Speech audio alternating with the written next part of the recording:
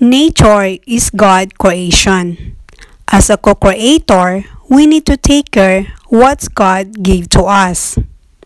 As you can see in your eyes, how magnificent His work.